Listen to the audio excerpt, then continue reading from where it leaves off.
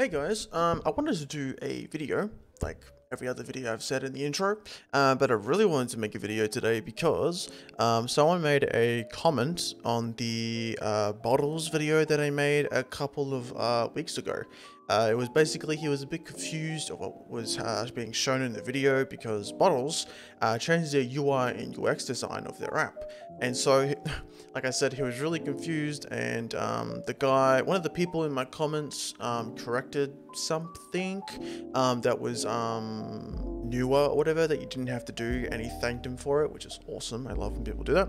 Uh, but the app was really outdated and the video honestly it was really shit. Um, i didn't really do a really good job with it. I just played music in the background. No i wasn't talking over it. Um, and i did like a sped up thing a lot of times within the video and didn't really explain uh, that much. So i wanted to make a video on bottles uh, today about the you know like the newest version of bottles. And i wanted to show you guys how to create a bottle uh, download uh, WineGE stuff um, and uh, different DLLs and explain what's basically what's going on when you create a bottle. And yeah, if you haven't noticed, I've also moved distros. I've moved to Pop! OS uh, since basically I was using Nobara uh, and I moved the uh, desktop environment. I was on the KDE Nobara version. I wanted to move to GNOME, and I didn't like how all the KDE apps were still installed, and the core functionality of KDE Plasma was like all like still installed, and I was getting updates for it. So I was like, trying to uninstall it, but it wouldn't let me. There were certain packages that just would not remove, even if I had sudo permissions, and I probably had to sign out and go into the, um, what's it called, like the terminal screen uh, without logging in and log in as root. But I think if I, because I was checking comments, if I removed the um, KDE desktop environment, like the main one that was installed when I first installed Nobara, then I might have uh, led into issues. And I was really enjoying GNOME, and I was like, well, I haven't tried Pop! OS in a very long time. I think it was like a year ago. Um, I like last tried it, and I did not have a good experience with it. Um, I was having a lot of like issues and stutters, um, and some updates weren't uh, going through uh, properly. But I was like, you know, I'll give it another try since it's on an LTS release and they're backporting packages and all that. It's pretty stable. It's built off Ubuntu, and I do actually like the Pop! OS experience that you get. And there's a lot of things that like are pre-included for you that you don't have to go out of your way to grab some app like a Tweaks app or extension manager to um, install certain extensions that you need like a dock or whatever since GNOME doesn't come with a dock the dock's like um, in the foreground you have to like tab um, use your super key to see the dock which I don't really like I usually add an extension like the um, dock or the um, that other panel extension uh, but on Pop! OS uh, they already have the dock already there and uh, there's a bunch of other little things that are in settings. Anyways, it's not about a video about Pop! OS, it's about how to use bottles. So, uh, basically, we want to install bottles. I actually already did the video a couple um, uh, minutes ago, but the video uh, got fucked.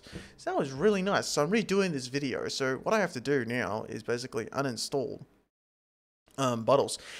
And also, uh, actually, I'll show you. Uh, basically, if you install any Flatpak app, and this is how I um, uninstall um, Flatpak applications fully, because usually when you click uninstall on the store, it doesn't actually delete the application. It deletes a few things, but it doesn't actually delete the folder.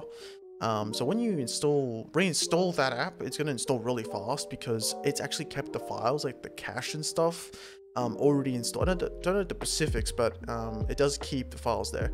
So um, to remove bottles fully, uh, so we can go through the setup page, we want to remove this to rubbish bin um, and then empty it. And now if we go to the pop shop, um, we can click uninstall and it should remove it completely as we can see here. So now we're going to click install and it should create a new directory here.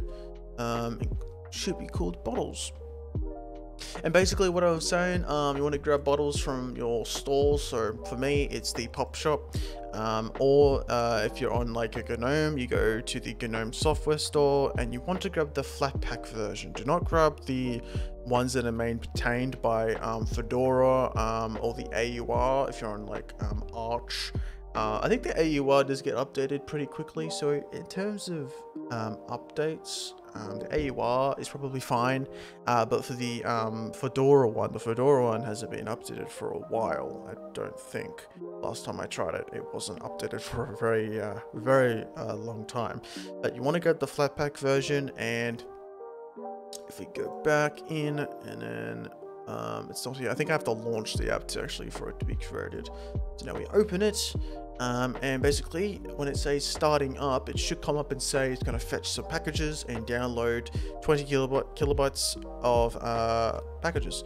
But basically, you want to wait for that to finish, and it should enter with like um, a welcome screen, and you can go through the certain steps as we can see here. And it says, "Welcome to Bottles. Run Windows software on Linux." So it tells you Windows and Bottles. Bottles uses compatibility runners to provide isolated, containerized Windows-like environments where programs run. Uh, almost done. So now we click continue and it's going to set everything up for us so then we can actually create a bottle and install um, things that we need to run Windows apps. Alright, and now, uh, as we can see here, it says already. So now we click start using bottles and we are in the actual app. So now um, it should come up with the library one, which well, I'll talk about that soon, uh, but basically we want to go to bottles. So if we want to create a new bottle, we can either click the big blue button right here, so it's create a new bottle, or we can do the plus one. So we go create a new bottle, and we are going to be installing the EA desktop app. Um, so we want to, I always, whenever I make a bottle, I always uh, name it the uh, application of the launcher because basically um, I only use like Blizzard and EA for some of my games. So when I create a bottle, I call it Blizzard. It doesn't matter. You can call it whatever the hell you want. Um, in the end, just you just need to know the name of it. Uh, it doesn't get used in any other way, I don't think. Uh, but basically, I'm gonna call it EA. Click create. And as we can see here, it is now creating the bottle. And we can look at the logs of what it's doing. Um, you can see here it's got a wine config, it's being updated, it's running as Flatpak, sandbox environment, user directory, optimizing environment, applying environment, the gaming environment. So now it's going to install DXVK, it's going to install some Microsoft DLLs, some DirectX 9 stuff. Um, and basically, um, if you're going to install any other apps as well, I would just just continuing to create a bottle in the gaming bottle. Don't choose the application bottle, I would say. Um, I think the application bottle just removes like a couple of things, um, while the gaming bottle um, just like installs like all this stuff like DLLs, DXVK, uh, DirectX 12 as well, which is VKD3D, the name it's called, um, and some like uh, Microsoft fonts as well. And I will see you guys when this is um, finished. It also might take a while, okay? Just saying, it might take a bit. Alright, and now it is finished. That only took like a couple of minutes, I would say. Maybe like five minutes. Um, not five, maybe less than that. Uh, but now that it is created, we can go into the bottle. So, excuse me, um, all the bottles that get created will be here in our library. I'll explain that soon, like I said before. But basically, um, you can enter the bottle and we can now go to the options section. So basically, uh, settings is where you'll be choosing all your types of different components, display stuff, uh, performance option, which is basically like different plugins that you can use. So you can use like game mode, which improves your performance. Um, you can preload game files, which I wouldn't recommend doing. Um, you can do OBS game capture, uh, which is like a plugin for OBS that's like uses the Vulkan and OpenGL window thing record gameplay, which I've used multiple times for um, the gaming benchmarks um, or monitor performance, which is Mango HUD, and basically all of this stuff. You need Flatpak versions for this to actually work because this app is a Flatpak, and so um, it needs access to the Flatpak versions of them, not the um, like regular versions. For me, like Mango HUD, I would need to go grab the Flatpak version from the Mango HUD GitHub page. Um, now, uh, we can grab uh, the runner. So by default, uh, it's going to use Soda, uh, whichever latest version. And Soda um, is a good, uh, definitely a good runner, but it doesn't get enough updates, I would say. Um, its release schedule is a bit slow. And so sometimes um, apps will break regularly like the EA desktop and Valve usually fixes it. But, uh, you know, we're running bottles and if you're going to run Soda, and that application's broken, then well, Soda is useless. Um, so you're going to have to use a different runner that gets more updates. So this is where you go to the hamburger menu. So we go, not the help page, we go to our preferences, which will bring up this. And as we see here, um, we can have a look at integrations as well, which uh, means basically it will list um, different uh, application programs in the bottles, uh, which are enabled, uh, but it says requires Steam for Windows installed in the bottle. So I would have to install the um, actual Steam Windows version in the bottle for this list to show up. I'm not going to do that. Um, and another thing you can do, if you have a second SSD or a second uh, one terabyte hard drive that you have all your games installed, I would highly recommend that you select and create a bottles directory um, on that second drive and then you add it here so then all the bottles and everything you create on the second drive that's what I used to do um, but now I don't really do that since I use Lutris um, and that works differently uh, but Besides that, we want to go to the runners option. And as you can see here, we can grab all types of different runners that it provides that we can just grab here and click download. So not like with Steam um, or Lutris where you have gonna have to use like an injector like um, Proton Up QT, which will like inject it. This, you can just uh, download it straight from here and we'll install it in your bottles environment and you can use it in any of your bottles uh, that you've traded. So we're going to use uh, the GE Wine GE Proton 735 version, which is created by Glorious Eggroll. Uh, so we're going to click download, and it should download it, install it. And it's relatively quick. Um, as you can see here, it's downloading it. I have a pretty high um, speed internet connection. I am using Starlink, so I do get a, a pretty decent download speed. Um, and now it's installing it. And... Whenever it wants to install it. And now it's installed. Uh, we can look at the directory as well, which is in um, our home directory. If you click properties, expand it. see here, it's in our home directories, wherever uh, bottles installed, which is in like var, dot var slash app.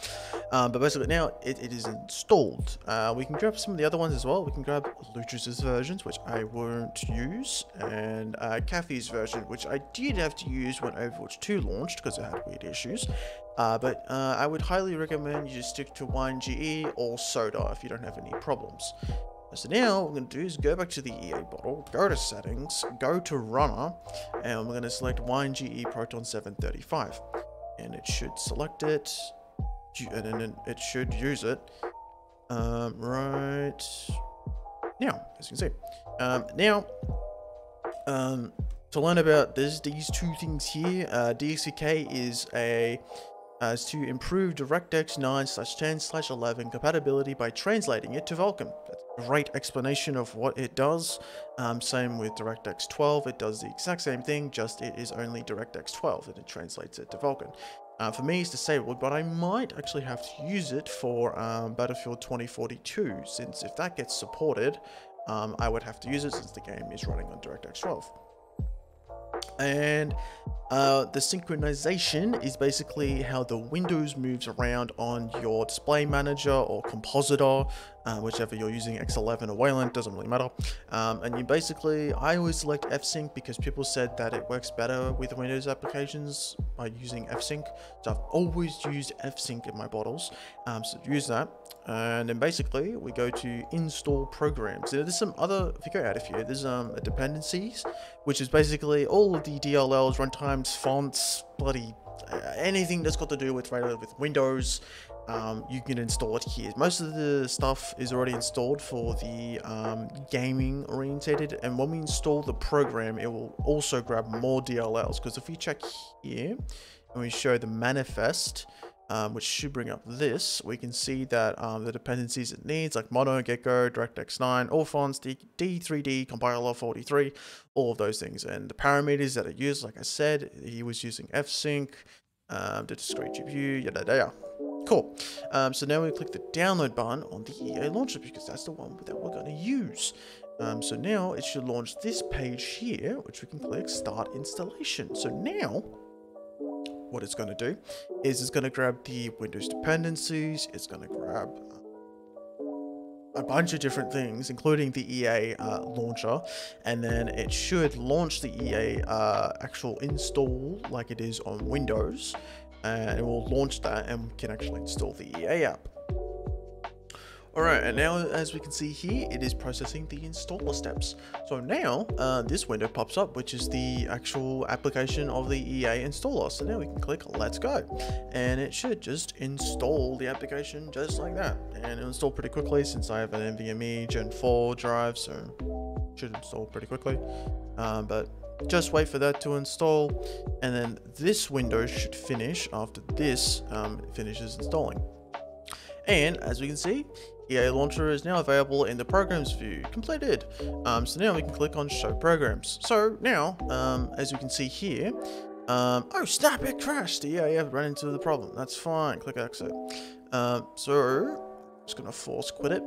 As we can see here, um, our bottles have been uh, created. Wait, our bottle has been created. We've installed the EA app, and our programs um, have been installed here. So now we have the EA client, the EA launcher, and the EA updater. We don't want to use the launcher or the updater. We just want to use the client because the updater will launch itself when there is a updated needed. Um, but now we're going to introduce to the library. So basically, every bottle has its own bottle, has its own applications, and we can add those little applications to the library so then you don't actually have to go into the bottles to launch the application. So for this one, if we add it normally uh, with the name EA client, it's going to show a UFC 2 um, image, which is not what we want. We want the EA icon of the actual, like the branding of the EA desktop picture on that um, little, what is that, a rectangle? Something like that. So basically we want to remove it, uh, we want to go back and we want to rename it here. So I'm going to do capital P because there's two different images that show up. Uh, if you do a lowercase p for play, um, it will just show up with the normal EA icon, but if you do it with the capital P, it will show a FIFA uh, player, which I like a bit more honestly. Um, so click add to library after you've renamed it. And as you can see here, it's right here. We can click launch. Now it says launching EA Play. It should come up um, normally and we can now sign in. And the, like I said, the EA desktop app, it's a bit uh, glitchy sometimes when it introduces a new update. So uh, that's why I suggested to use the WineGE version because that's more updated than the Soda version because every time I've tried to install the EA app, the Soda uh, version, the latest Soda runner, always has issues with um, loading the actual like interface because the interface runs like off a, it's like a web uh, interface uh, and it always has issues, while the WineGE version um, has like never had issues because it gets updates more regularly. So you want to sign in, obviously, and I will skip this part. And as we can see here, I have signed in, and now we're just we're in the app, and the icon even comes up here, and may come up with a it's got a Qt Web Engine process. Um, you can ignore that. Um, usually that is fine. It should load, as you can see here. Uh, and there you go. So now we can go to my collection and you can download any of the games. Hopefully I can download Battlefield 2042 soon. Uh, but EA doesn't really want to enable Proton support, even though, I mean EAC Proton support, even though Apex Legends has fucking uh, the EAC runtime working perfectly fine within Proton, which is really funny how they, they won't enable it on there. Uh, I think it's just the developers. I've asked plenty of times on Twitter and on the EA forums, but they just continuously ignore us for some reason. They don't want to give a clear answer as to why they don't want to um, bring it or if they are going to bring it, but uh, hopefully that gets um, supported. For now, just play Battlefield 1, 5, and 4 because that's actually something that I can uh, do. So that's basically about the end of the video. We go back to bottles, we go to the bottle, we go to EA, and basically what we want to do here is click force stop all processes because even if you close this, I don't think it closes all the processes because I've checked before. Um, if you want to see what processes are running, we can actually go to the task manager, click refresh here, and we can see all the processes that are running uh, for the EA app to work. So we click force stop and this will close all the processes that are running in the background, including the app, and you are done. Now, if we check the task manager, there may only be a couple of things, which is basically for the bottle to run, I think, some other wine stuff. That's fine, you can always leave that in the background. And that's basically it. That's if it was uh, the Blizzard app as well, that would be pretty easy. Um, but yeah, um, thank you guys for watching the video. If you've um, skipped through, that's perfectly fine. Um, and if you, you know, have any issues, pop them down in the comments. I'm always, you know, there to uh, help people if they have any issues or anybody else that's in the comments that wants to help somebody else, go ahead.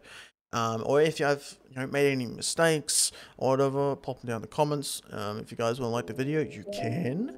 Uh, you can turn on the ring uh, bell notification, and if you want to, you can even subscribe to the channel.